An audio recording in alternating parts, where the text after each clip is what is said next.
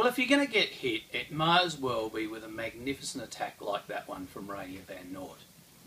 Stephen Hand from Stoccata in Hobart.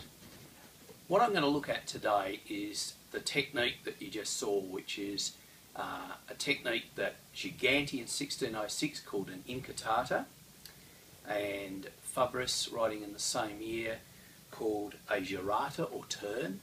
Uh, Capoferro, writing four years later in 1610, he called it scanso della vita, which um, means an avoidance of the body. And Alfieri, writing in, in 1640, um, simply called it portare la vita, uh, which means a, a, a sort of a, a, carrying or removing of the body. Um, and I'm going to show you those techniques, the plates out of those four treatises now.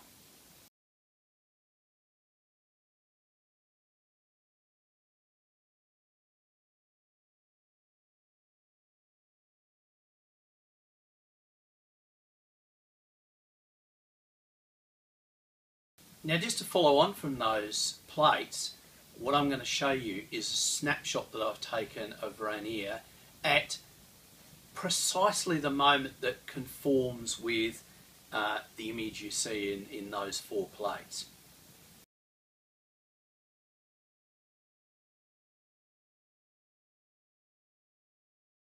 So if we take that snapshot, um, we can see that it, it conforms very, very precisely um, to the images from the manuals, and um, all kudos to Rainier for having such beautiful form.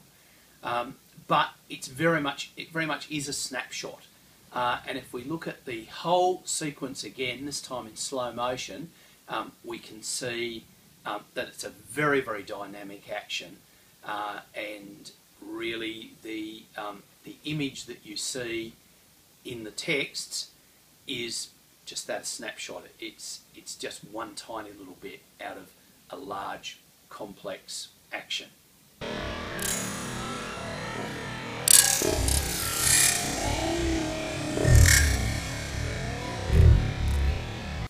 Now, I'm going to show you another technique uh, because as well as doing a, an inquartata, you can do a half inquartata. And what I'm about to show you, unfortunately, I haven't been able to find any illustrations from, um, but I'll read you a description from Saviolo's treatise from 1595, uh, where Saviolo writes, For at the same time that the master shall give the said mandrita, the scholar shall do nothing else but turn the point of his foot toward the body of his master, and let the midst of his left foot directly respect the heel of the right, and let him turn his body upon the right, upon the right side, but let it rest and stay upon the left. And in the same time, let him turn the rapier hand outward in the stoccata or thrust, as I have as I have given you to understand before, that the point be toward the belly of his master, and let him lift up his lift up his hand, and take good heed that he come not forward in the delivering the said stoccata, which is half an inquartata. So what I'm going to show you now is a technique um, that I did uh, in a, a, bout where I was using Saviolo's uh, system against George Silver's uh, and that I did against my son. And as you'll be able to see I make a little adjustment with my front foot and then I make a larger movement um, stepping across the back of my front heel uh, with my left, my rear foot and at the moment of impact you'll be able to see if you look closely that the um, the middle of my rear foot is in line with the heel of my front foot exactly as Saviolo said. So I'll show you that now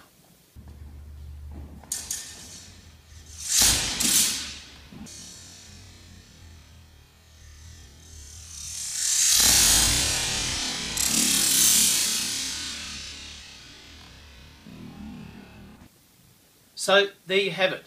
Uh, the inquartata, otherwise known as girata, scanso della vita, portare della vita, um, and the half inquartata, uh, ways in which you can get the, uh, the body by moving the, the left foot sideways, and in the case of the inquartata forward, you can get the body off the line and strike your opponent.